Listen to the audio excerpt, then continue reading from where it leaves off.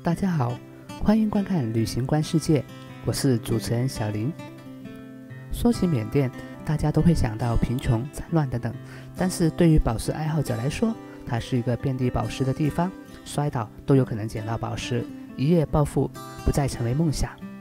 莫古小镇是一个相当神奇的地方，它是世界上最富裕的小镇之一，隶属于缅甸第二城市曼德勒，位于缅甸北部。省会曼德勒作为缅甸第二大城市，其实跟我们的四五线城市差不多。莫古在缅甸都排不上号，你可以想象当地的生活环境并不算太好。但这块小小的山谷却蕴含着世界上独一无二的红宝石矿脉，一直是世界上最优质红宝石，如鸽血红名贵品种的最重要的来源。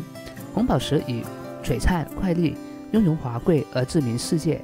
而世界上顶尖的红宝石都是出自莫古小镇，它们曾作为皇冠、塔式的装饰，成为权势的象征。莫古的矿脉被公认为世界上年代最久远的一处红宝石矿脉，其宝石矿多是由于几百年前的火山喷发出的高温岩石冷却后遇到地下变质岩相互作用而成的。毫不夸张地说，这片山谷除了祖母绿和钻石没有之外，其他各种你听过的、没听过的都有可能在这里被找到。莫古小镇有大小宝石矿一千三百多座，这里有世界上最著名也最危险的红宝石矿井，分为露天矿和竖井两种形式。而莫古的红宝石和尖晶都主要富存于变质成因的大理岩中，所以挖出来的除了方解石还是方解石，到处都是方解石，整座山都是方解石，白花花的方解石。莫古小镇矿藏丰富，甚至出门都能挖到宝石。按照莫古镇优良的品质和高昂的价格。挖到一个红宝石就能变为富翁，这个说法其实一点也不夸张。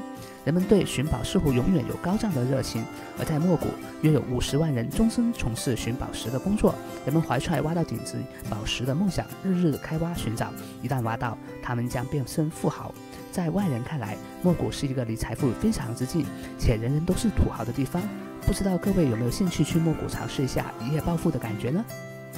好了，这期节目的时间就到这里了。更多精彩内容，请点击关注按钮。